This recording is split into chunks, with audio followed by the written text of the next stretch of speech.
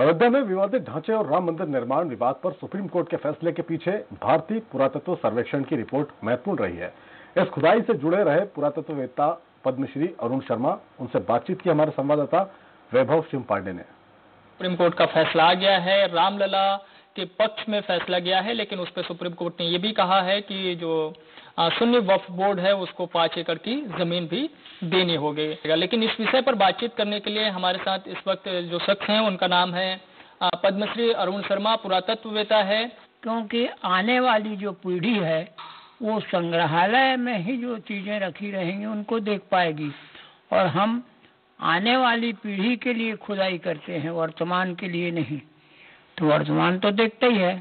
तो संग्रहालय बनाना और भारतीय पुरातत्व सर्वेक्षण आजकल। मैं उन्हीं का आदमी हूँ, लेकिन मुझे कोई हिचक नहीं है। बहुत ढीला है इस वक्त संग्रहालय। सिरपुर में मैंने खुदाई की, आज तक कोई संग्रहालय नहीं बना। मटकू द्वीप में कोई संग्रहालय। इसलिए इस मामले में चूँकि ये सुप्रीम कोर्ट का जजमेंट है सुप्रीम कोर्ट को तो बल्कि तारीख कर देना था कि छह महीने के अंदर संग्रहालय बना कर खड़ा करो। है ना? अब देखिए क्या होता है। और उसमें संग्रहालय निर्माण में जो ट्रस्टी रखेंगे, वो जो भी है, वो जानकार हों, जिन्होंने खुदाई में भाग लिया हो। कुछ भी मिलता था, जो उसके बेसिस पे फैक्चुअल बेसिस पे जजमेंट दिया है। तो उनको बायस्ड है या एक तरफा है, ऐसा नहीं कहा जा सकता दोनों पक्षों द्वारा। इसलिए मान्य, उनको मान्य अच्छा इस पूरे जो खुदाई की वो जो प्रक्रिया थी उससे आप जुड़े रहे हैं। तो चूँकि चौरासी के आसपास ही खुदाई हुई थी तो उस दौरान क्या क्या चीज़ें निकल कर सामने आई थी? फिर आप लोगों ने उस रिपोर्ट को कहाँ पेश किया था? रिपोर्ट तो एक तो भारतीय पुरातत्व सर्वेक्षण के डायरेक्टर जनरल को दे दी गई थी। एक, वो जो कोर्ट था, उसको दिया गया था, है ना?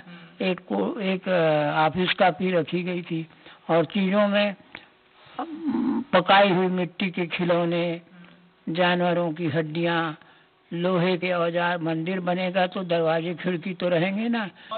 जो बातें आई कि एक विशाल संरचना वहाँ पे थी तो वो किस तरह की संरचना?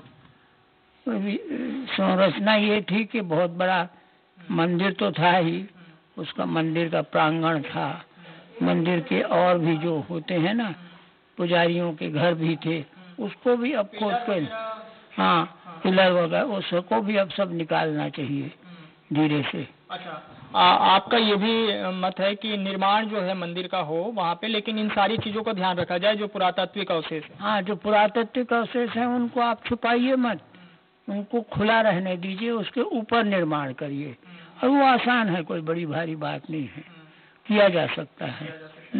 अभी अब आगे आपका क्या और मत रहेगा? आप क्या चाहते हैं? मैं यही चाहता हूँ कि अब जल्दी से जल्दी निर्माण शुरू हो जाए। जिससे लोग देखें मंदिर और संग्रहालय और मंदिर जल्दी से जल्दी बन जाए। और मुसलमान भी चाहें तो अपना मस्जिद जल्दी से बना सकते हैं।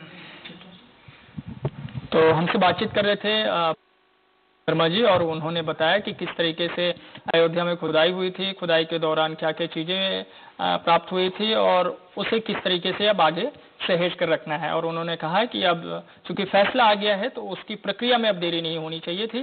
देरी नहीं होनी चाहिए और जो निर्देश सुप्रीम कोर्ट के तरफ़ से दिए गए हैं सरकार के तहत जल्द से जल्द काम शुरू हो जाने चाहिए।